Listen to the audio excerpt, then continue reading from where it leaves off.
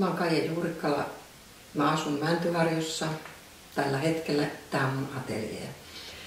Eli mä oon nyt kulkenut oman matkani tämmöiseen paikkaan, jossa tämä atelier symboloi jotenkin aika paljon sitä, kuka mä oon. Tämä on atelier valo.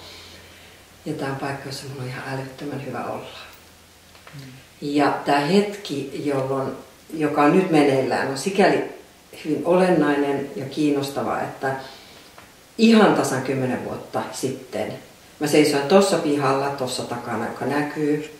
Keskellä yötä ilotulitusraketit pamahteli ja mulla oli kuohuviinilasi kädessä ja silloin mulla tuli semmoinen intuitio, että mä sanoin, että nyt mä oon valmis. Että tapahtuko se, mikä on tapahtuakseen.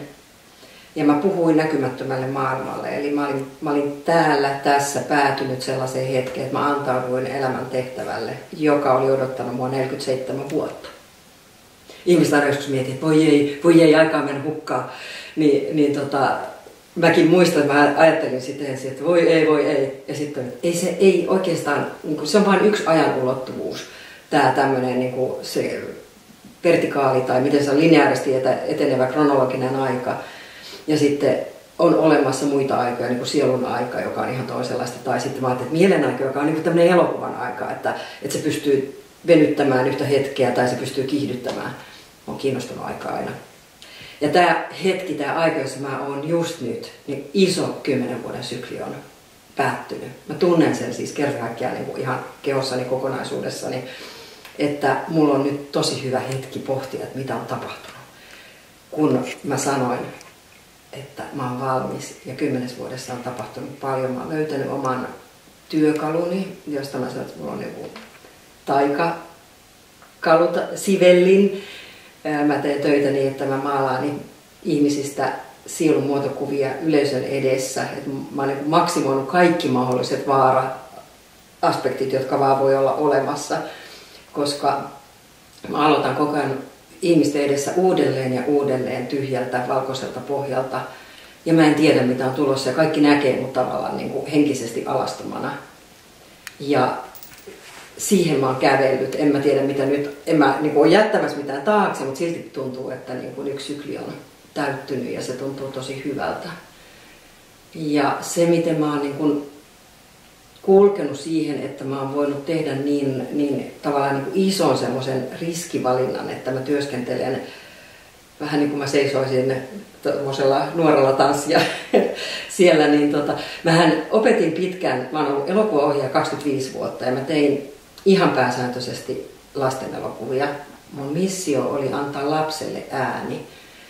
Että antaa lapselle puheenvuoro, siis se, mä halusin, että lapsi tulee kuulluksi. Ja hassua kyllä se päättyi siihen, että mun sisäinen lapsi tuli kuulluksi. Eli, eli jotenkin just siinä vaiheessa, kun mä sanoin, että nyt mä oon valmis, niin siitä seurasi, että se mun sisäinen lapsi alkoi, niin kuin nosti ihan silleen, aha, sä oot valmis. Ja, ja tota, siitä seurasi se, että mulla on niin kuin, no hyvin nopeasti meni semmoista askeleet, että, että mulla nousi edellinen elämä, jossa mä oon ollut itse Japanissa 12-vuotias lapsi. Ja sen tarinan kuuleminen aiheutti sen, että se 20-vuotinen elokuvaohjaaja elämä, 20 vuotta niin kuin lapsen puolesta taistelemista jotenkin tuli semmoisia hienoa suvantoon. Että, että aika jännä se semmoinen, että koko ajan niin nosti, ja mä olin tosi paljon media, tota, niin kuin median kautta julkisuudessa, että mun teokset oli, mulla oli koko ajan vähän epätavallinen tapa käsitellä sitä lapsen kuulemista. Mä oon yhtään kiinnostunut tehdä sellaisia omaa, että mulle tarjottiin heinähattuja ja viltti tuossa, mulle tarjottiin Onneli Anneli ja mä aina, että kuka vaan elokuvaohjaaja voi tehdä. En mä halua väheksyä muita, mutta silti, että siis koulutettu elokuvaohjaaja voi tehdä niin kuin valmiista taideteoksesta uuden niin kuin kirjasta elokuvan. Ja mun taas piti aina olla joku se kummallinen, joku mitä ei ole aiemmin kosketeltu, että mä tein niin kuin Lasten Road Movin ja sitten mä tein tota, niin kuin ton, että lapsi oli kirjoittanut päiväkirjoja, niin sen lapsen omista päivä, että ei sitä, että aikuinen muistelee, vaan että, että niin kuin lapsi on kirjoittanut, eli Aleksanteri Aholavalosta. Ja, ja tota, tein pitkän lasten sarjan niin kouluarkeen liittyen, mitä Suomessa oli tehnyt. Aina siinä piti olla joku kummallinen jenka. Mulla on pakko vielä tehdä asioita toisin. Siis, että mulla on ihan selvästi semmoinen pioneerin polku. Et mä koen, että mä oon tullut tekemään, etsimään jotain. En tarkoita, että kukaan muu maailmassa, mutta että mulle ei ole opettanut sitä, vaan että mä niin kuin innostun asioista, jotka on vähän outoja ja vähän vaarallisia. Ja sitten kun mä tein kuitenkin 20 vuotta töitä niin kun ylikin, niin siihen vuoteen 2007 mä tein töitä sille, että mulla oli aina se tiimi ja mä olin itse kameran takana. Ja siinä oli 30 ihmistä ja, ja sitten kaikkihan katsoi aina mua sen kohtauksen lopuksi. Mä sanoin kiitos, kaikki katsoi, että onko tämä tässä. Niin nyt sitten kun mä maalaan sielukuvia ihmisten edessä, niin mulla on taas se tiimi. Ja mä koen, että, että ensin se tuntui siltä, että se elokuvapohjaajan polkuus oli jotenkin niin kuin, vähän niin kuin umpi, siis umpikuja tai siis tämmöinen niin harharetki. Ja sitten tajuin, että se kaikki valmensi mua siihen, tähän henkiseen tehtävään, joka mulla nyt on. Eli että siinä elokuvaohjaajan työssä mä sain aivan erityisiä työkaluja, joita mä en olisi varmaan saanut, jos mä olisin niin lähtenyt ihan perinteisesti kuvataiteilijaksi. Että opiskelukuvataiteilijaksi, joka opettaa yksin työskentelyä. Mutta mä kuljinkin elokuvaohjaajan polkua, jossa mä koko ajan tein tiimityötä. Ja olin koko ajan niin kuin, äh, sillä lailla kat, katseen alla ja, ja mulle aina se ihmisten hyvinvointi siinä hetkessä, mulle oli kauhean tärkeää, että miten se tiimi voi. Niin samalla tavalla nyt, kun mä maalaan niitä sielunkuvia, mä maalasin ensin kaksin. Mutta sitten mä tajusin, että se, siinä nousee sellaisia kollektiivisia asioita, jotka on niin kuin enemmän kuin vain sille ihmisille, jolle mä niin kuin henkilökohtaisesti maalaan ja puhun. Ja sen takia sitten aloinkin työskentelemään sillä tavalla, että hiljalleen niin kuin löysin tavan, jolla siinä voi olla muut ihmiset mukana katsomassa. Ja siitä tulee jollain lailla vielä ainutkertaisempaa. Et kun se on samalla, siitä, mä sanoisin, että se on opettanut mulle sellaisen asian, kun saan puhutaan niin ykseyden teemasta. Mun mielestä ykseyden teema on samalla tavalla monimutkainen kuin aika, avaruus, yksyys, ne on kaikki sellaisia, että me jotenkin tajutaan ne, mutta sitten samaaikaisesti ne on, niin kun, ne, niillä on joku semmoinen äärettömyysulottuvuus, abstrakti ulottuvuus. Ja silloin kun mä maalaan sielun muotokuvia yleisön edessä ja mä näen, miten niin kun, maalaan niin yhdestä ihmisestä, ja sitten siinä on vaikka 25 katsomassa, ja jollain tavalla niistä jokainen kokee, että mä maalaan niin kuin hänestä. Niin se on tuonut sen yksilön niin toisella tavalla konkretiaksi, että miten siinä yhdessä, vaikka siinä tulisi hyvinkin semmoisia erityisiä asioita, sanotaan esimerkiksi tämmöinen, joka on, josta niin näkee, että se ei ole vain kaikille, että se ei tarkoita, että kaikki mitä teen yhdelle on automaattisesti. Että mä maalasin tästä vastikään yhdestä naisesta. Silloin kuvaa siihen tauluun tuli heti lumme. Ja sitten tota, Mä puhuin siinä ja se nainen istui niin, että hän ei nähnyt, kun mä maalaan sitä. Mä vaan, hän oli siellä taulun takana. Sitten äh, kun se tuli valmiiksi, niin mä käänsin sen sille naiselle nähtäväksi ja se katsoi sitä. Ja mä en ymmärrä, miten se pysty, oli pystynyt olemaan niin kauan hiljaa, koska sitten kun se katsoi sitä, se veti hihansa tälleen. Näin. Ja silloin oli ihan samanlainen lume siinä, tatuoituna. Ja se näytti sen silloin lopuksi. Eli että, että se oli tietysti myös erityisesti hänelle, koska ei jokaisella siellä ollut sitä tatuoituna. Mutta jollain tavalla se semmoinen, että me ollaan yhtä, on, on semmoinen asia, joka on niin kuin tullut merkitykselliseksi ja avautunut tuossa työssä mulle. Mä oon syntynyt Nokialla vuonna 1959, ja, eli mun on sitten niin lapsuuden vuodet on ollut 60-lukua ja mun nuoruuden vuodet on ollut 70-lukua. Ja Mä olin tosi, mm, ensinnäkin mä olin, äiti sanoa, että mä olin helppo lapsi. Eli että mä olin semmoinen, joka mä osasin olla yksin. Mä en ollut vaativa. Mä olin sopeutuva. Mutta sen lisäksi mä oon ollut hyvin, selvästi hyvin herkkä. Tänä päivänä varmasti diagnoosi olisi HSP, eli high sensitive person. Sellaistahan ei tiedetty silloin. Ja, ja oikeastaan mä ajattelen, että mun lapsuuttani on koko ajan varjostanut semmoinen reippauden vaatimus tai reippauden kaipuu, reippauden ylistys, ei oikeastaan mun äidin kautta, vaan sitten mun niin kuin, kotoa mun isän ja siskon kautta. Ja se on varmasti vaikuttanut tosi paljon minuun, että mulla on ollut tavallaan sisärakennettuna koko ajan se, että mä oon liian liian pelokas tähän maailmaan, täytyy tulla rohkeaksi. Ja oikeastaan tänä päivänä tajuu myös sen, että se ei ole, kun mä sanon, että semmoinen varjo tai varjoistanut, niin varjot kuuluu mun mielestä elämään. Mun eka kirjakin on nimeltään Varjojen taika. Eli että, että se, minkälainen koti me valitaan, niin sehän niin kuin edesauttaa siihen, että me kuljetaan siihen omaan elämäntehtävään. Eli mun koti ei ollut millään tavalla niin kuin uskonnollinen tai henkinen, tai että mun äiti oli hyvin hiljainen.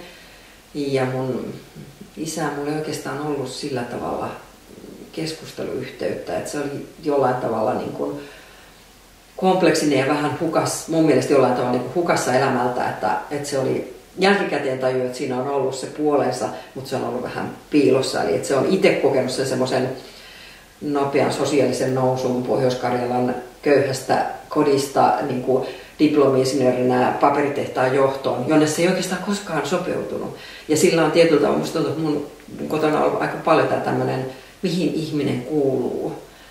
Ja mä olin taiteesta kiinnostunut tosi varhain. Mä muistan, että mä oon saanut öljyvärit niin kuin aikaisin ja muutenkin, niin kuin, että helposti tuettiin sellaista harrastusta, jota halusi niin kuin kokeilla. Ja, mutta jollain tavalla siis sitä mun tietoisuutta hirveän paljon leimaa, vaikka mä en ole varma, että onko sisä sanonut se monta kertaa, mutta se on mulla ihan älyttömän voimakkaana semmoinen, että meidän suvussa oli yksi taiteilija, hän kuoli nälkään. Et, et se niin kun, mua ei lapsena ohjattu millään tavalla sinne herkkyyden, ei sensitiivisyyden, eikä ehdottomasti mihinkään niin kuin yliluonnollisen tai eikä niin kuin pienimmässäkään määrin, että toivottavasti käyttäytyisi niin kuin normia vastaan tai oudosti. Mutta niistähän ne, se rakentuu jossain miljöissä ja mulla se rakentuu siitä, että mä näin tietyllä tavalla sen semmoisen niin kuin paradoksin siinä isän ja äidin, että tuntuu, että äiti halusi, että kaikki ongelmat satakuntalaista, onko ikkunat kiinni, jos tuli riita. Että eihän niin kukaan vaan kuule. Ja, ja isällä taas se ristiriita, että se niin kuin ei oikeasti asettunut sinne niin kuin tehtaanjohtajistoon, niin mulla nousi semmoinen tietty, se liittyy siihen mun pioneerihenkeen, niin vähän sellainen, mä ajattelin silloin murrosiassa sitten, että mä olen niin marksilainen anarkisti. Mä olin hyvin kiinnostunut niin kuin maailman paremmaksi muuttamisesta ja sitten, että siihen että se vaatii jonkinlaista semmoista niin kansalaistottelemattomuustoimintaa. Tai ehkä se ei ollut ihan vielä silloin sillä nimellä, koska silloin ei ollut vielä ketting, ei ollut vihreitä eikä kettingellä traktoriin sitomista, mutta, mutta kuitenkin, että mä oon ollut naisten rauhanmarssilla Jenkeissä ja, ja tota, että mulla oli semmoinen yhteiskuntatietoisuus oli se ensimmäinen, että mä oon tullut vaikuttamaan maailmaan ja mun tehtävä on niin tehdä sitä. Ja sitten hyvin vahvana tämä tämmöinen, että, että niin kuin etsi rohkeutta. Et mä muistan, että aika varhain oli semmoinen, niin kuin, että kun mä pelkäsin yksin olla, mä pelkäsin pimeätä, niin jotenkin se semmoinen, että kulje koko ajan, niin kuin, melkein koko ajan, niin, niin sellaisia askelmia, että, että voit niinku huokasta välillä. Ja mä helposti sairastuin, että mä olin paljon myös kipeänä. Mun äiti ei vaatinut tätä puolta, mutta sitten että aina kun oli niin ollut kipeä ja tervehty ja pääsi taas liikkeelle, niin sitten oli se, että, että tota, nyt kohti, kohti tulta.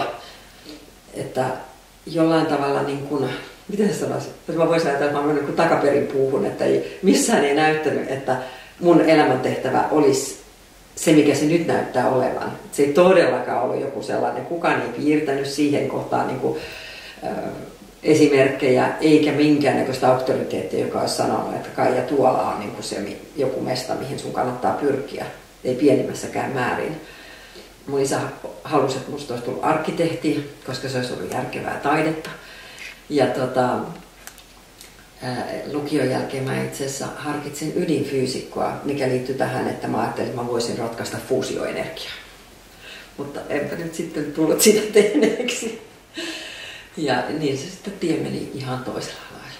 Mulla oli lapsena jo sellainen, että mä heräilin öisin usein. Eli mulla on ollut joku herkkyys suhteessa siihen hiljaisuuteen, joka on yössä, siihen toisenlaiseen todellisuuteen mä en muista mitenkään sellaista, niin kuin, että mä olisin nähnyt henkiä tai jotain, mutta kun mä pelkäsin, niin mullahan on ollut, mä uskon, että mulla on ollut olemassa toinen todellisuus, mutta mulla ei ollut ketään, joka olisi jakanut sen. Eli mä kutsuin äitiä öisin. Äiti, mä kutsuin kuiskimalla, koska mun sisko oli samassa huoneessa. Ja sen mielestä mä olin niin kuin, pelkkuri tai vähän avuton. Niin mä yritin kuiskia niin, että hän ei heräisi, eikä isä heräisi, mutta äiti kuulisi. Ja äiti usein tuli. Mutta mä muistan semmoisen kummallisen, niin kuin, äh, onko se nyt sitten yksinäisyyttä tai äh, outouden, että äiti ei kuitenkaan pysty niin jakamaan sitä maailmaa. Että mä jäin tavallaan, mä aina kutsuin ja silti sitten hän lähti ja mä jäin ihan yhtä avuttomaksi kuin sitä ennen. Että musta tuntuu, että, että musta oli semmoinen puoli, jota tuntuu, että kukaan ei oikein pysty niin kuin, auttamaan, jakamaan tai kohtaamaan. Ja mä, musta, mä, mä luulen, mä en sitä mitenkään niin kuin järkevästi tai järjen kautta muista, mutta että mä niin kuin aloin sulkea itsestäni jotakin puolta, jonka mä nyt voin ymmärtää, että se on semmoinen niin kuin henkisyyteen tai esoteerisuuteen taipuvaisuus. Mutta että sit mä kyllä tosi paljon niin kuin, koitin olla normaali ja en puhunut semmoisista asioista, enkä sen takia oikeastaan edes muista kunnolla. Ne, mä pyyhin ne niin kuin omasta, et ei mulla ole mitään mielikuvaa, että mitä mä pelkäsin, tai on mulla jotain, mutta, mutta siis silleen, että et, et, kun se oli maailma, jolla ei ollut sanoja, kun ei, jos ei voi jakaa kenenkään kanssa, niin silloin niin kuin ihmisten välillä, niin silloin se jää jotenkin niin kuin vaille sanoja, eli myös vaille ajatuksia. Ja, ja silloin musta tuntuu, että se on vähän niin kuin semmoinen kaappiin ja ovi kiinni. Ja, ja tota, sen takia tosiaan se kesti ihan älyttömän kauan, että sit, sit musta oli vaan tämä yhteiskunnallinen puoli. Et ensin se oli se poliittinen, yhteiskunnallinen, vasemmistolainen, köyhän puolella oleminen ja sitten se kääntyi. Mähän opiskelin luokaopettajaksi ensin ja, ja tota, sitten sieltä luokaopettajasta kuljin niin kuin elokuvaohjaajaksi, joka oli sitten taas myös yhteiskunnasta lapsen puolustamista. Ja sitten elämä kuljetti mut tänne. 2002 me ostettiin tämä vanha kansakoulu. Ja tässähän on ympärillä pimeätä. Mä muistan, kun ekana kesänä tosi monet tuli sitten katsomaan, kun me oltiin asuttu kauan Vantaalla ja tultiin tähän. Kaikki halusi nähdä, mihin mä muutettu. Ja sitten yksikin sanoi vantaalainen pariskunta tai se nainen sanoi, että No mikäs tässä nyt on kesällä ollessa, mutta odottakaa kun tulee talvi ja pimeätä, ahdistavaa ja yksinäistä. Ja mä muistan hyvin selvästi sit sen, sen tota, mä että no sittenhän voi onneksi lähteä sinne Vantaan talviparatiisiin, jos ei kestä täällä. Me tultiin tänne 14 vuotta sitten, niin silloin yhtäkkiä ympärillä oli pimeys. Ihan täällä kun ilta tulee, niin ei ole katuvaloja, ei ole valoja, mitkä syttyy. Ja mä muistan, että mä en raskinut sytyttää tähän sisällekään. Se oli aivan taianomasta se sininen hetki, joka kun se alkaa tossa, just tossa, talvella laskee aurinko tuohon. Ja sitten se sininen hetki, se kestää ainakin puolitoista tuntia, se on niin mieletön. Mä niin kuin, se alkoi se ensin hämäryys niin kaivaa jotenkin minusta sitä muistoa, joka mulla oli jäänyt käsittelemättä ja jota mikään näissä aiemmissa ammateissa, eli luokaopettajan työ ei käsitellyt elämän mysteeriä. Ja elokuvaohjaajan työ voisi, taide on lähellä mysteeriä, mutta sitten toisaalta elokuva on niin, kaupallisuus tuli sille, käsikirjoituksessa kalutaan ihan hirveän paljon niin kuin järjen kautta. Ei siinä enää jäänyt mysteerille sillä tavalla tilaa, ei tarkauskielä tänä päivänä.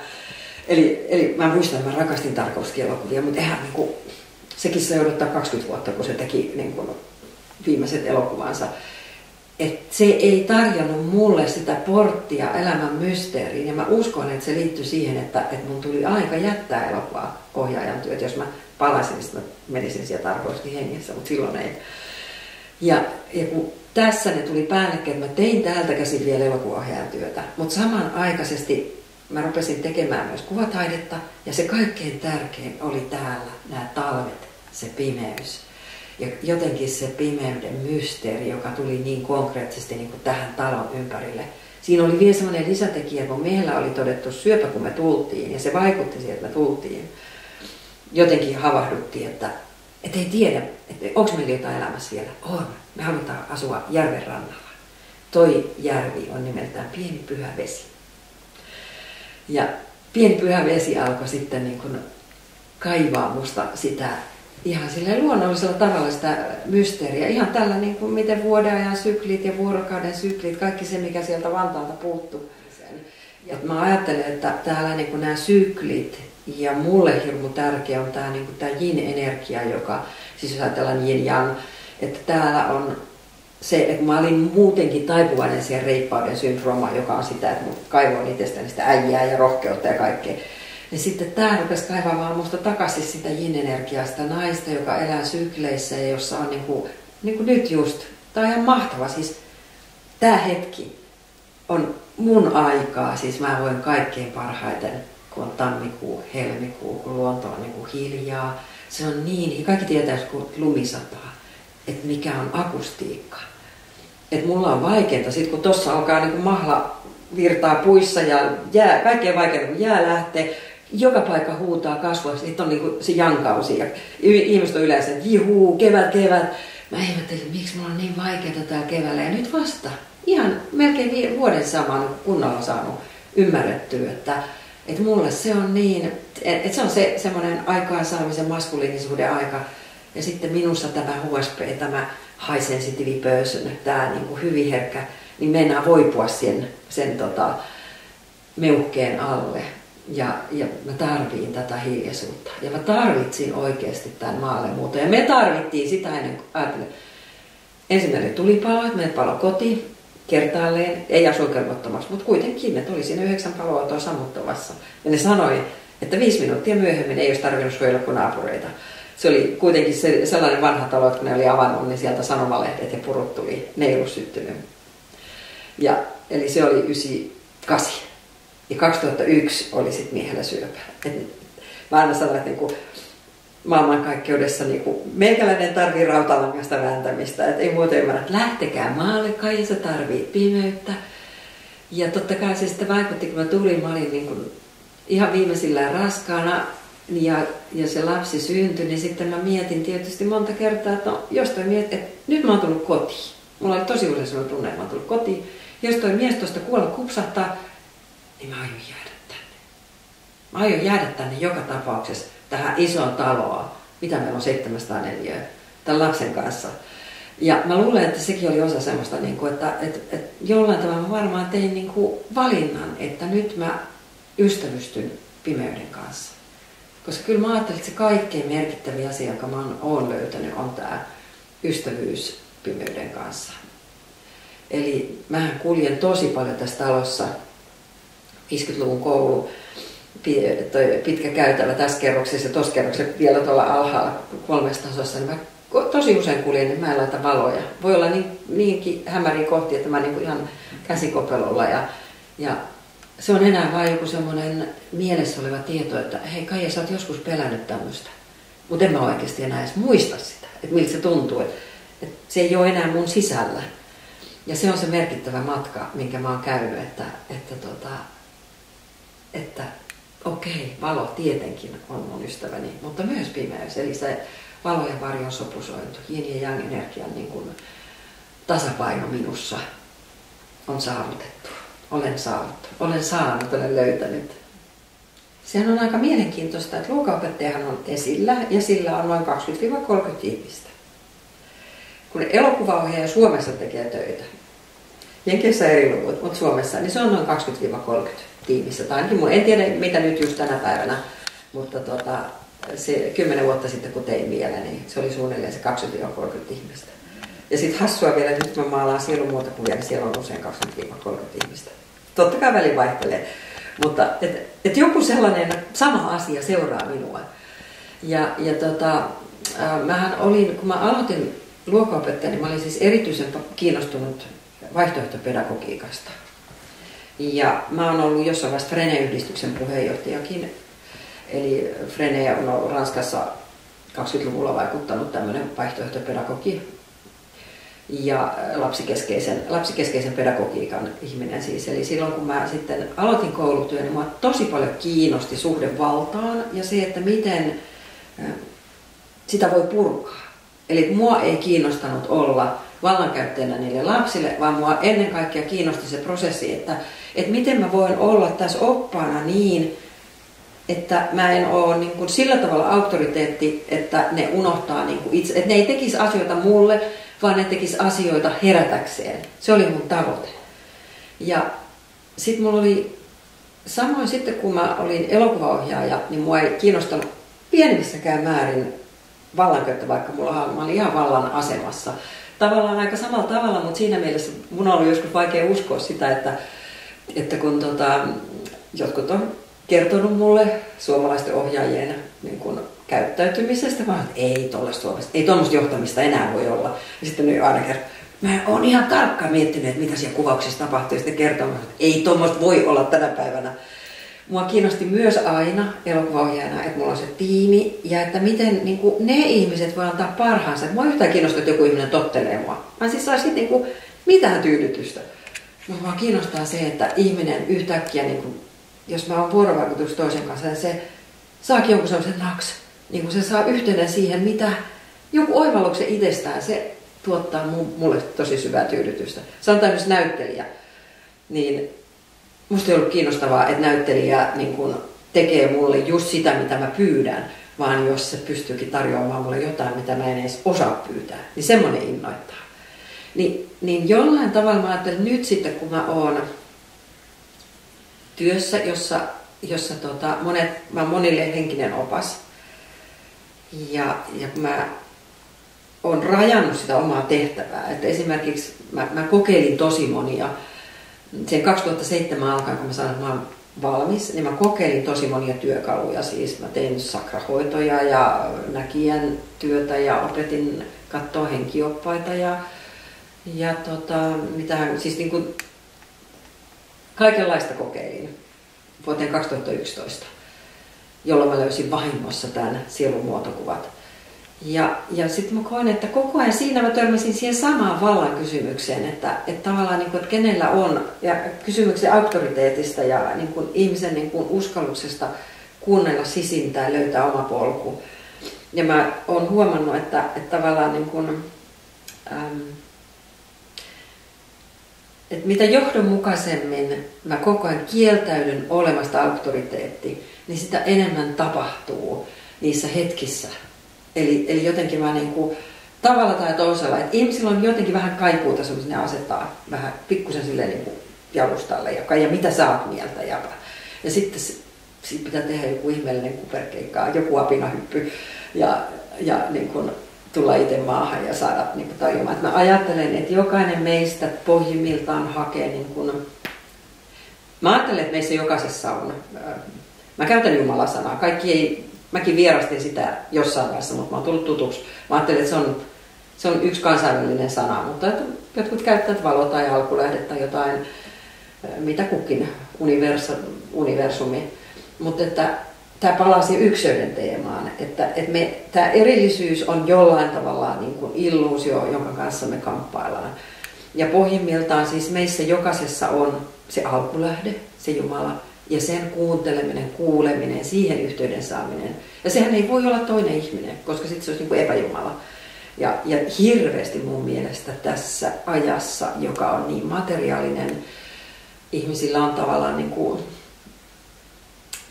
paljon hätää, joka ei, niin kuin paljon sisäisen hyvinvoinnin hätää, niin samalla on myös aika paljon sitä sellaista niin kuin tietyllä tavalla niin kuin epäjumaluuden teemaa, että haetaan auktoriteetti haetaan valmista polkua tai jotenkin.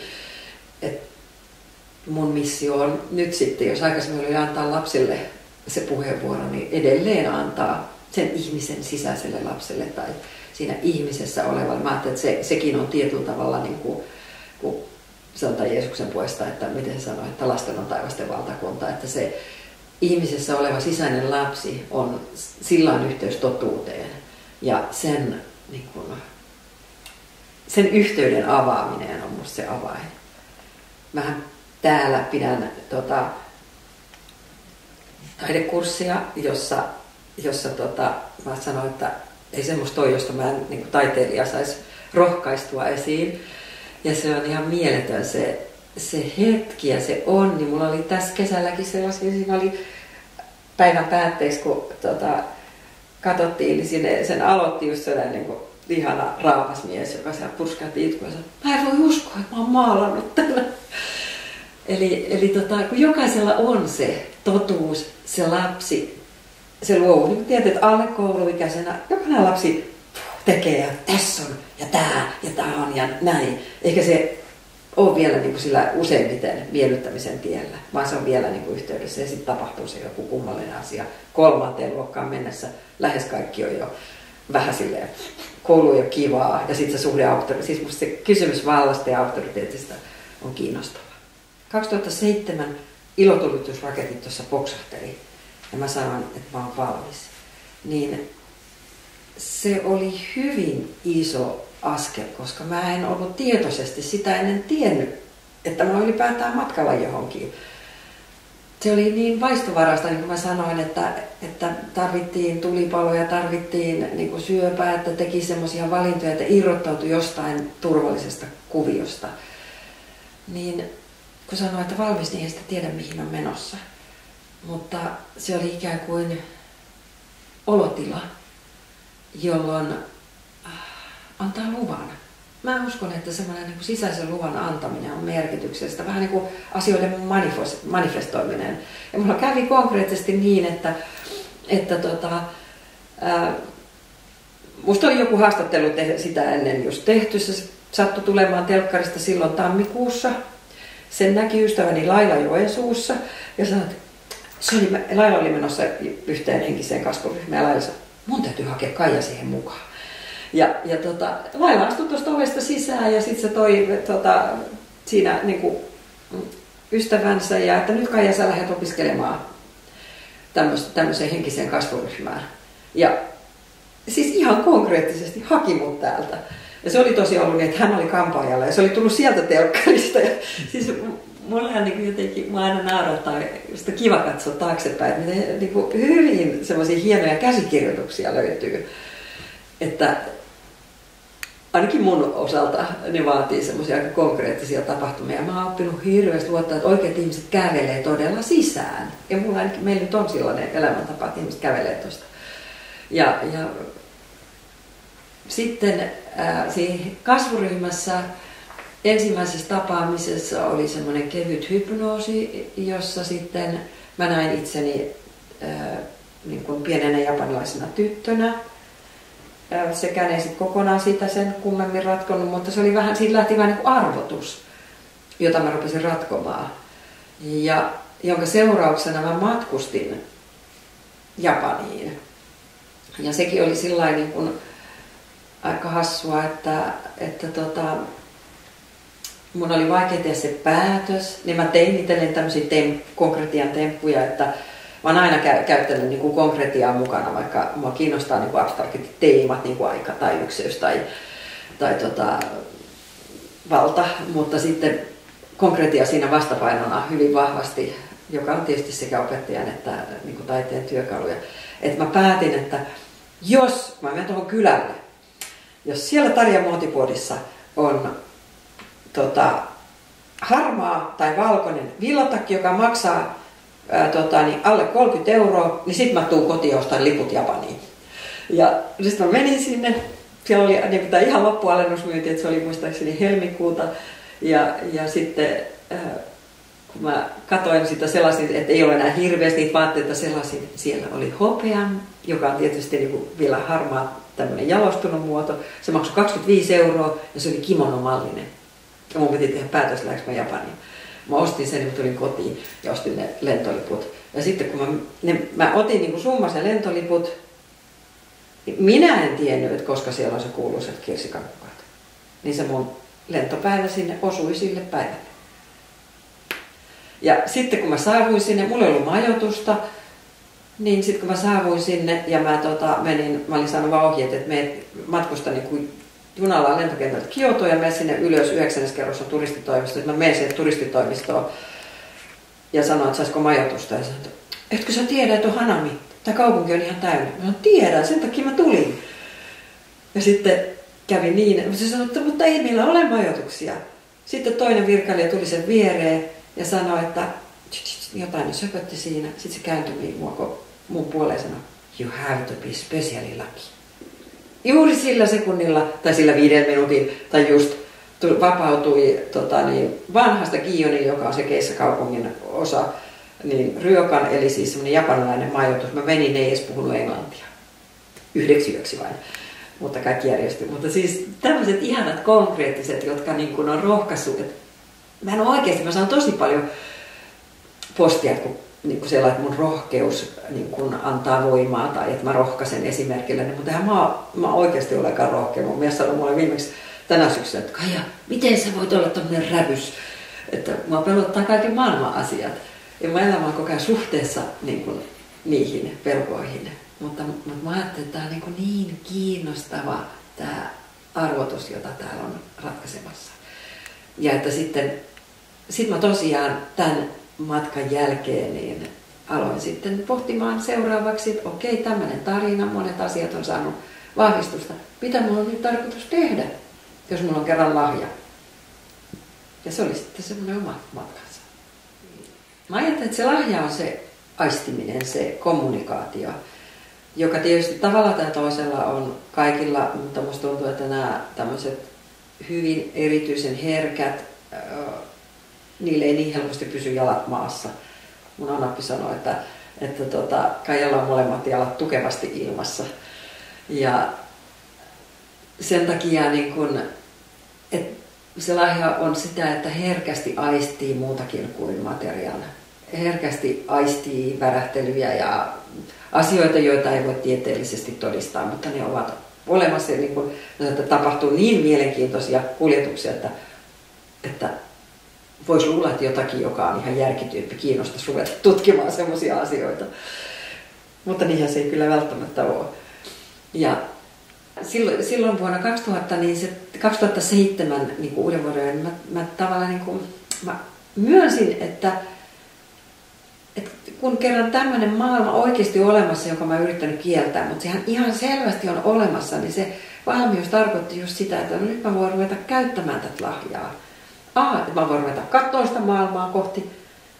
Ja kun mä katon, niin mä tuun tietoiseksi siitä, että mulla on lahja ja kai sitä pitäisi käyttää. Ja se lahja tarkoitti just sitä, että, että mä tajusin, että, että semmoista feedbackia tulee. Että, mä, että ihan yhtä lailla kun mä keskustelen sun kanssa, niin ihan yhtä lailla mä voin keskustella semmoisen kanssa, joka ei ole tällä lailla niin kuin tiivistymään, mutta se on energiaa ja se on yhtä totta ei sen todempaa, vaan yhtä totta. Mä en myöskään korota sitä sillä tavalla niin kuin meidän yläpuolelle tai jotain, vaan että se on kaikki tätä niin kuin kommunikaatioa, vuorovaikutusta. Ja sitten mä ajattelin, että no, itse viekö, nyt täytyy varmaan niin kuin harjoitella. Et mulle se on koko ajan ollut selvää, mä usein ihmisille sanon, että, että eihän nyt kaikkihan esimerkiksi, jos tuosta heitetään laiturilta, niin suuri osa hukkuu tai lähtee, pannaan pyörän selkään niin tuohon, tuohon autotielle, joka tuossa on, jos ei ole minkäänlaista niin kuin pieni reuna, niin kyllä se huonosti käy.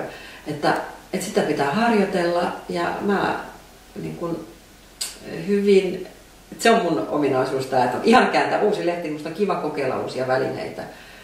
Ja, ja mä kokeilin tosi monia välineitä ja, ja tota, siinä kävi oikeastaan silleen tyypillisesti, että sitä lähtee merta edemmäs kalaan, että mielihän määrittää, että joku on mysteeri ja joku ei. Niin kuin, että, että onko tämä nyt mysteeri, tämä on teekuppi, niin kuin, että ei, tämähän on niin teejuomista. No sitten, mutta sitten on nämä kivet, että mä, mun eka oli niin kuin liitty näihin kiviin, että sehän oli uusi mielenkiintoinen mysteerin työkalu. Nyt kivessä on energiaa. Ja, ja tota, sitten, että mä kokeilin tavallaan niin kuin sellaisia työkaluja, joille oli mun mielestä niin kuin mysteerin luonne.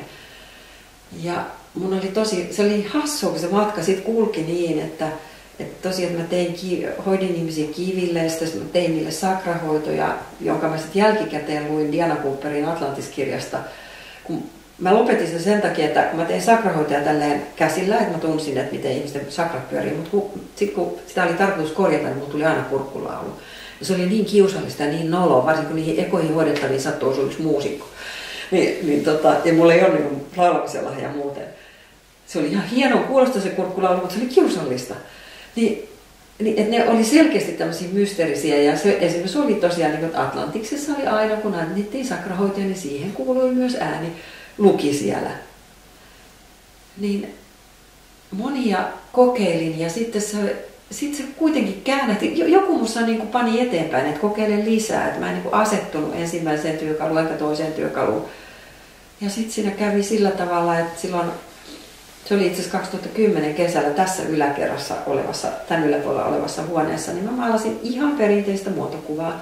Mä olin siihen perheeseen maalannut aikaisemmin ja ne halusi toisellekin aikuiselle tyttärelleen muotokuvan. Mä olin varannut siihen kaksi päivää sen muotokuvan tekemiseen ja sen sisko tuli mukaan. Sen sisko oli mulla työharjoittelijana silloin mun elokuvayhtiössä. Ja, ja tota, se tuli tuommoisen pienen kameran kanssa ja sanoi, että mä teen tästä siskolle dokumentti. Ja se kuvasi sen kaksi päivää, kun mä maalasin perinteistä muotokuvaa. Ja sitten kun se leikkasi sen ja näytti mulle.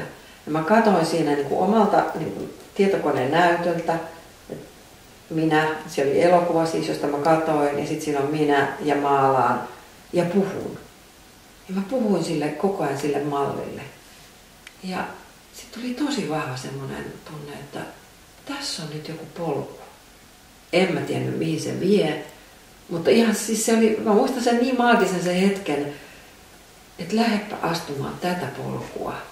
Se oli taas se mun pioneeri. En mä ole nähnyt kenenkään työskentelevän tolleen, mutta se, se sivellin ja se puhe, sitten se oli vielä elokuvan muodossa katsottavana, että tässä on nyt jotain.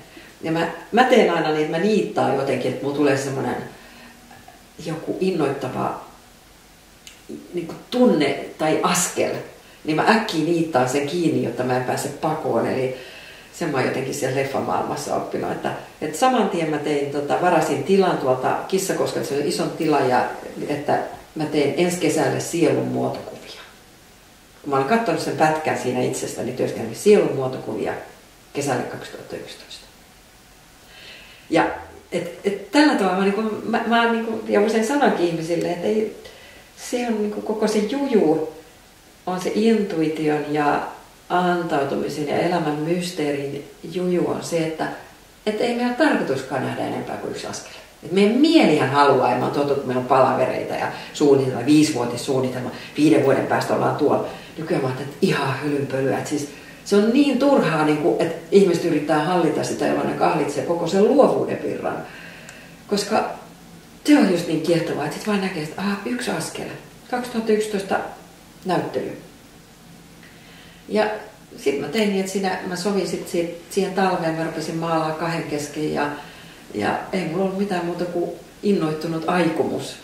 Ja sitten oli se näyttely ja sitten tuli tosi vahva vahvistus, että sen kesän lopulla mä maalasin ensimmäisen kerran ihmisten edessä sillä, että, että sinne yksi hoitaja halusi, siis että se teki työkseen hoitamista tuossa Mikkelissä. Ja se halusi tarjota sen siellä niin kuin omalla hoitohuoneella, että ihmiset saisi tulla katsomaan, kun mä maalaan hänestä sielukuvaa.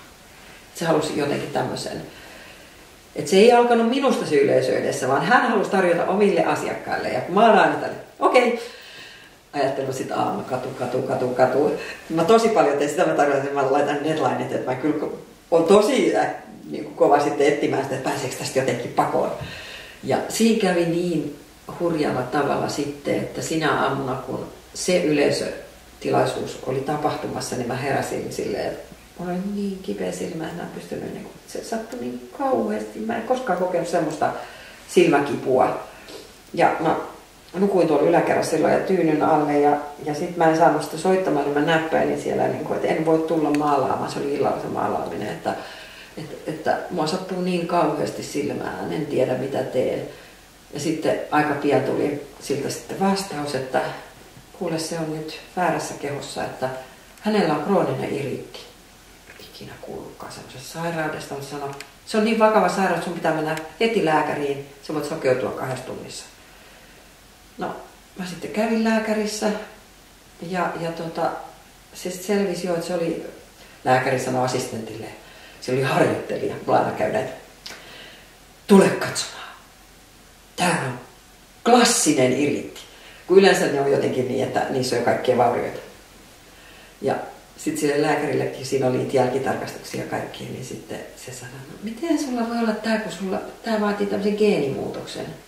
Mä sanoin lääkärille, haluatko tietää? Sitten se lääkäri oli hyvä, käännät sen tuolle. No, tota, no kun mulla on tämmöinen henkinen lahja ja mä rupesin maalaamaan tämmöistä sielun kuvaa ja sitten mulle tuli tämä sairaus, joka oli sillä mallilla. Se malli parani. Sillä on ollut 30 vuotta se kroonisesti ja se parani. Ja, ja sitten tota, sit se lääkäri oli no jos me nyt lähettäisimme tästä tutkimuksen Suomen lääkärikunnalle, niin tuskinpa yli 50 prosenttia uskoisi sinun tarinaasi. Sitten se piti hienon taiteellisen tauon. Mutta minä uskon. Jokainen lääkäri tietää, että ihmisen aivoista tunnetaan vain minimaalisen pieni osa. Ja meillä on sanonta, ajatus siirtää vuoria. Mutta tämä oli siis sen, sen ekan näyttelykesän elokuussa. Niin mä sain tavallaan niin sen vahvistuksen, että se väline, jota mä oon silloin lapsena rakastanut, mä oon saanut tosi pienenä ekat tota, öljyvärit.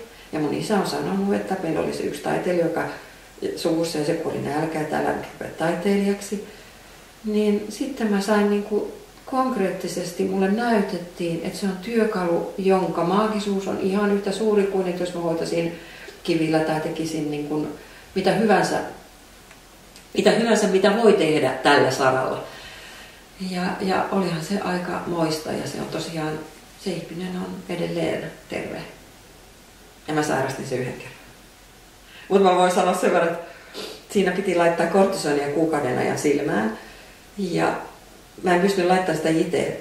Ja se piti aluksi laittaa ekalla viikolla kolmen tunnin välein. Ja mun miehen piti kolmen tunnin välein nousta laittamaan sitä mun se siinä mun silmän yläpuolella ährää sitä tonne. Ja se sanoi, että jumalauta, mä teen joku päivä kirjan tästä, että elämäni noitaa karinnalla. Mutta se oli vaan semmoinen joke. Mutta että, että se oli se merta edemmäs kalaan, että se väline oli jo mulla valmiiksi. Mutta mä en vaan tiennyt. Eikä onneksi tämä on vaarallista, jos tästä kerrotaan, koska sitten se voi mennä tuolla kato satelliittien kautta EU-kieltä kohta kuvamataidon opetuksen koulussa, koska se selviää, että se onkin maaginen, maaginen väline. Mutta se on hieno hetki, kun tajuaa, että meillä on meidän arki on täynnä maagisia välineitä. Mulla on oikeastaan sellainen aika hassu kokemus, että mitä antautuneempi mä oon hetkille, joissa ihme näyttäytyy, ne virtaa mun läpi ja mä en muista niitä. Oikeastaan se kaikkein huomion arvoisin minulle on se, miten kaikki on virtausta. Mä en oikeasti muista. Siis ne menee niin, se, se on jotenkin enemmän vielä kuin, niin kuin että mitä, mitä niin kuin antautuneempi mä oon, sitä vähän, ne vaan niin kuin menee aivan puhtaasti mun läpi. Ja musta tuntuu, että siinä on joku juju. Eli että mä en voi jäädä sitä edes niin kuin kunnioittamaan tai ihailemaan tai et, et kaikki riisuu multa sitä, kun mä, niin kuin mä sanoin, että, että pois palvomisesta ja pois niin kuin jalustalta ja kaikesta, että, että mä haluankin vaan kertoa sen, että se virtaus on suuri ihme. Kun mä maalaan, niin mä kyllä koen olevani tosi arkisen tavallinen. Vaikka mä en muista mitään, niin Mutta ihmiset just kysynyt joskus sitä transsia tai sellaista, niin että en mä ainakaan ole mitenkään niin kuin outo tai poikkeava tai mä puhun, puhun paljon myös jotenkin niin kuin arkisesti, humoristisesti, leikillisesti, fyysisesti ja jotenkin turvallisesti siis, että mikä varmaan mä ajattelen, että mun te- on jollain tavalla semmoisella niin kuin, portilla, johon on helppo ihmisten tulla. Mä, ihmis, ihmisillä on erilaisia elämäntehtäviä. Mun on tarkoitus olla semmoisella niin ekalla portilla, että hei, täällä on... Et ehkä sen takia, että mä itse niin kovasti jo lapsena pelkäsin sitä, niin, niin mun tarve on vaan niin seistä siinä, että hei, tästä voi tulla katsomaan. Hirveän turvallisesti. Mulla kerrankin, se, siellä oli tosi paljon ihmisiä, tota, se oli joskus jouluaikaa Hyvinkään asemalla. Ja, ja se, sieltä sitten niin kuin, ihmispaljouden takaa tuli yksi mies, joka sanoi, kuule, Tämä vakuuttaa insinöörinkin. niin hauska. Et mä, samalla vaikka mä en muista, niin mä ajattelen, että sekin on siis sellaista niin kuin, että se ei ole silti niin kuin outo tila tai, tai niin kuin sillä lailla niin kuin kaukana tästä, mikä, mikä meillä ihan tavallisesti on. Et mä ajattelen jotenkin sitä virtaamisen teemaa paljon arkisemmin. Ihan, ihan vaan sellaisena, ää, joka ei ehkä jossain sanotaan, että vanha sitämaisesta, me puhutaan yin yang, niin siinä samassa maailmassa on enemmän sitä, että saan ja päästä irti, saan ja päästä irti. Meillä on tosi vahva tämä, että saan ja pidän. Mun mielestä esimerkiksi sitä, sitä kuvata. Valokuvana laitan albumiin. Meillä sen vangitsemisen. Ja, ja tota, et paljon on itse miettinyt sitä, että kun eihän se irtipäästäminen koske vaan, niin usein me ajatellaan, että päästään niin kuin pahasta, että, että ihmiset uuden vuoden yönä kirjoittaa paperille ja polttaa, mutta kun mun mielestä se on myös eh, ihan myös kaikesta niin kuin hyvästä tai määrittelemättä niin kuin, niin kuin kaikesta, että, jotta mä, että se on se semmoinen liike, värähtelyliike, joka tavallaan ilmentää niin kuin sitä elämän monimuotoisuutta kaikkia elämän monimuotoisuutta. Jotenkin mä ajattelen, että sitä, millä tavalla jumaluus niin näyttäytyy kaikessa. Eilen mä kuulin siitä, että on jotkut laitteet, että joku syntikka kiinnitetään kasviin, niin sitten se toinen se juuri ja toisen, toinen se lehteen, niin sitten se syntikka soittaa musiikkina sen, sen virtauksen. Tämmöisen kuulin. Se on ihanaa konkretia. Että sekin oli jotenkin sellaista, että tämän päivän tekniikathan mahdollistaisi tosi paljon näiden ilmiöiden tutkimista, mutta se minkä se vaatisi on se, että koko meidän maailmankatsomuksen luonnontieteellinen perusta pitäisi repiä. Luonnontieteellinen, lääketieteellinen, se kaikki. Että se maailmankatsomus, joka on rakennettu, onko se nyt, oliko se nyt, jos ajattelet keskiajan jälkeen, on tultu siihen, milloin niin kuin tiede nousi, niin mehän levätään sillä alustalla nyt. Ja tietyllä tavalla tämä aika, jolloin nyt tämä mysteeri on tullut lähelle arkea, ja se ei olekaan minkään tietyn instituutio, vaan niin kuin jokainen ihminen voi kosketella jotenkin vähän uudella tavalla niin kuin sitä mysteeriä. Niin se olisi hyvä, että se perusta repeisi mieluummin niin kuin kauniisti kuin kauhean kivun kautta. Mutta jos mä voisin toivoa, niin mä toivoisin, että ihmiskunta uskaltaisi luopua nyt tästä pohjasta sen sijaan, että se niin kuin takertuu ihan mielet. Musta on hirveän kuvaavaa, että että nyt kun, oliko se 93, se on kirjoittanut se yksi nainen siitä, kun ne siirtyi valoravinnolle, eli praana-ravitsemukseen, eli jätti syömättä niin, ja on eläneet. Se on oma tarinansa, ja mä ymmärrän, kun hän kirjoitti sitä, että se on yleensä ihmisille aivan liikaa.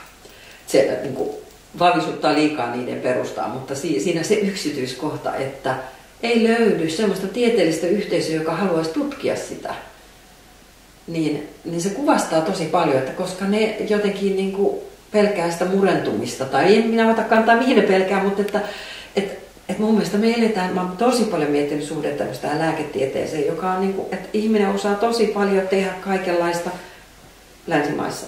Mutta kun se unohtaa sen kokonaisuuden, se unohtaa sen mielen, se, se on niin, niin vajaata samalla, kun se on niin spesiaalia. Että mun mielestä me eletään sellaista aikaa, että vaan pitäisi revetä. Koska repeämät on ne, mistä tavallaan niin elämä pääsee esiin. Elämä pääsee hengittämään, sielu pääsee olemassa olevaksi repeämien kautta, hallinnan repeämän kautta.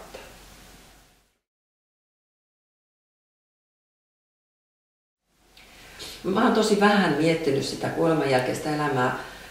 En, tavallaan, että se ei ollut mulla sellainen intresseissä pohtia, mutta olen aina hyvin kauan ollut tietoinen siitä, että kuolema on yhtä kaunis kuin syntymä ja että yhtä luonnollinen ja pääjäämätön. Ja mä toivoisin, että meidän, meidän se, tämä maailmankulttuuri, jossa me eletään, niin osaisi ottaa sen, niin se auttaisi paljon enemmän ihmisiä sen asian käsittelemisessä, että se on vain olotilan muutos.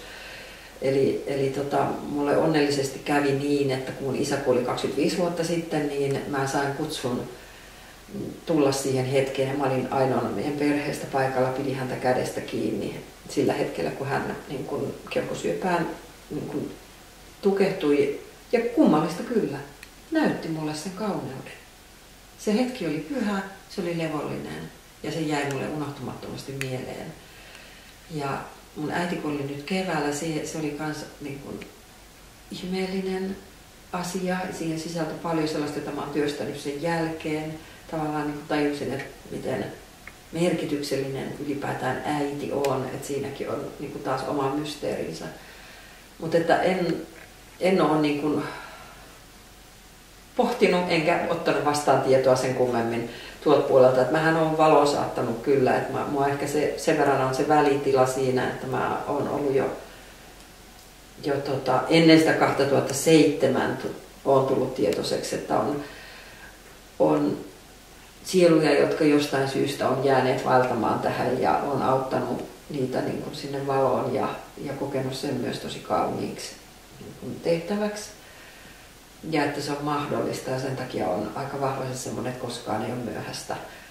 Ja mä ajattelen silleen tota, ton, ton kuoleman suhteen lähinnä, että kun se, se sanakin on vähän meidän kulttuurisesti jotenkin, ehkä se heti kaskahtaa vähän semmoinen, uh, että, että tota, että se niin voisi avautua kauniina porttina, jolloin sen, sen tota, äh, kohtaaminen olisi paljon monimuotoisempaa ja inhimillisempää kuin mitä se nyt on. Nyt on tosi voimakasta tuo fyysisen elämän pitkittäminen ja kuitenkin tuntuu, että, että jollain tavalla niin kuin ihminen on varmasti sisäänkirjoittanut myös sen lähtemisen hetkensä. Siihen sisältyy tavallaan paljon viisautta ja siis se mun isä sillä lailla sillä omalla lähdöllään näytti, että kun siinä kävi silleen, että, että oli niin nähtävissä, että hän on lähössä. Ja sitten äiti, joka oli hätääntynyt eikä hyväksynyt sitä, niin sitten soitti niin henkilökunnan paikalle. Ja sitten kun se laittoi, se tuli se henkilökunta ja rupesi sitten ronklaa siis keuhkosyöpään kuolevan ihmisen niin se, putsaamaan ikään kuin, siis sanarkisesti putsaamaan sitä limaa, josta tiedetään, että sehän ei lopu eikä tule niin kuin ratkaisua.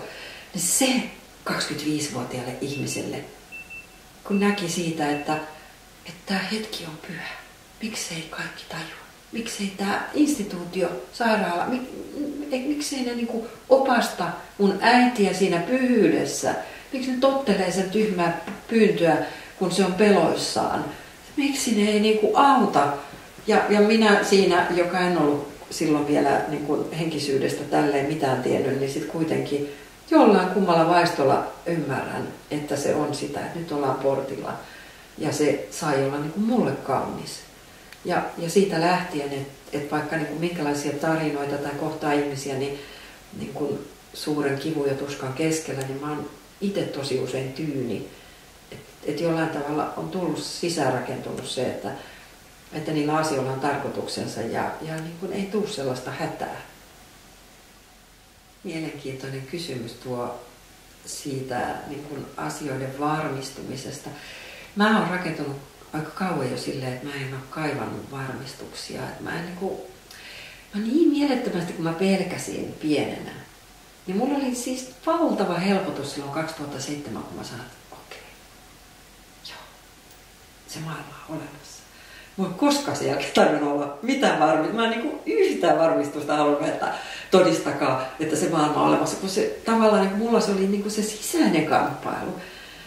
Se oli oikeastaan taas suhteessa tähän niin ulkoisiin auktoriteetteihin, että kun tämä meidän kulttuuri ei hyväksynyt, mun isä ei hyväksynyt, opettajat ei hyväksynyt, ei ollut mitään, ketään mun lähellä, jotka olisi sanonut, että on olemassa materiaalisen maailman ulkopuolella. Oli tietysti sitten ihan niin kuin luterilainen kirkko, mutta sekin oli jo jotenkin jossain blogissansa. Että ei silleen, että se on kaikkialla koko ajan elävästi. Niin sitten kun mä tavallaan viimein pystyin antamaan itselleni sen luvan, että mulle se maailma on olemassa, niin mä en ole mihinkään asiaan kaivannut varmistusta. Niitä tietysti on tullut, mutta ei esimerkiksi ole silleen niin kuin et ei mun tule mieleen niin kuin isä ja äidin suhteen, että olisi ollut mitään kauhean semmoista konkreettista tai selkeää, että nyt se on tässä. Ja silti niin kuin taisin sanoakin, että mulla on, joka tapauksessa mulla on semmoinen tunne, että, että kun isä kuoli, niin isä alkoi osallistua tosi vahvasti mun elämän tehtävän niin kuin löytymiseen tai sen esiin piirtämiseen, sen auttamiseen että mulla on tosi vahva semmoinen tunne, että silloin kun isä eli, niin se oli, että uu, älä ryhdy taiteelliseksi. Ja sitten kun isä kuoli, niin sitten se alkoi tehdä töitä. On mulla ollut tapaamisia sillä niin henkimaailman tapaamisia, mutta mulle ne oli jotenkin hirveän itsestäänselviä. Ne ei ollut semmoisia suuria kohokohtia. Mä luulen, että aina ne suuret kohokohdat on ollut mulla sen omien niin kuin, mielen esteiden raivaamisessa. Siinä mielessä mä myös korostin sitä yötä, kun mä sanoin, että, että mä annan luvan. Että miten mä annan luvan itselleni, kun kukaan muu ei sitä voi mun puolesta tehdä, kun se on mun sisimmässä se, että, että mä oon antanut tämän vallitsevan kulttuurin niin täyttää sen, sen toisenlaisen kokemuksen ja sitten, että mä revisen rikki sen ulkoisen kuoren. Kaikki ne on ollut tosi isoja asioita, joissa on se oma sisäinen oletusarvo, se mielen rakentama illuusio on murtunut, revennyt halki. Mulle se, ehkä jos haluaa tiivistää johonkin, niin mulle kaikkein tärkeintä on tietyllä tavalla se valon ja varjon liitto, se, että maan päälle se elämä kuuluu. Maan päälle se elämä, tämä hassu illuusio tästä tiivist, energian tiivistymästä, joka jättää varjon. Kun valo paistaa, me jätetään varjo. Niin jollain tavalla se semmoisen niin hyväksynnän ja sopusoinnun löytäminen siihen, että kun meidän mieli hakee koko ajan ratkaisuja, ja meidän mieli rakastaa sitä hetkeä, kun se saa taas luotu kun yksi illuusio on purettu, niin sehän menee, ja se rakentaa uuden illuusion. Ja usein ne sellaiset tosi aha, että oi vitsi, niin mä tajuun, niin nämä on hetki, jolloin meillä itse asiassa rakentuu uusi illuusio. Koska se mysteeri on luonteeltaan semmoinen, että ei sitä koskaan voi selittää. Siis Jumalahan on yrittänyt kaikki kulttuurit selittää vaikka tuhannet tuhannet vuodet. Ja sitä ei voi vaan selittää. Se ei, se ei ole niin mahdollista. Ja mä ajattelen, että, että parhaita hetkiä on tyhjät hetket mitä enemmän kestää tyhjyyttä, sitä enemmän on täyttä elämää.